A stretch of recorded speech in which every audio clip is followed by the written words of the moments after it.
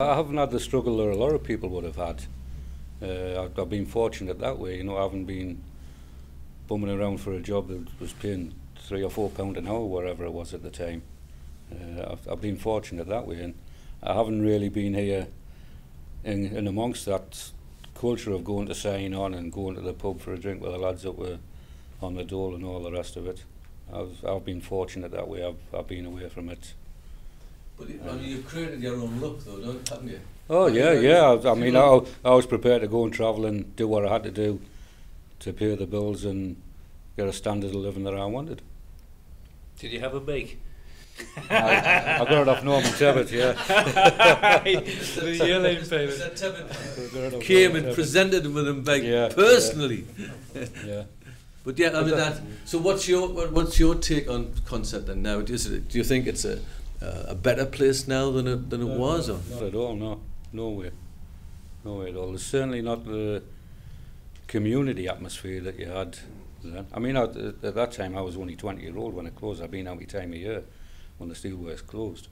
But uh, even though a lot of the older guys will know better than me, but e- even then the community atmosphere you had with all the different sports clubs, not that everyone got involved in, had their own rivalries and fights and, and all the rest of it, but everybody knew everyone. And, you know, my dad will knew my mate's dad and all the rest of it. But uh, it's, it's just not that now. It's not that. You, you don't know, you go into Consett, you don't know half the people that are walking around the town and the rest of it it's, I, personally, I think it's grown too big as well.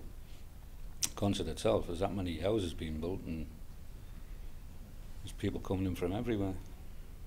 Would you not think with the houses being built, it's actually enhancing the area because you're getting good quality housing. Um, a lot of the ISOs that were around are being redeveloped.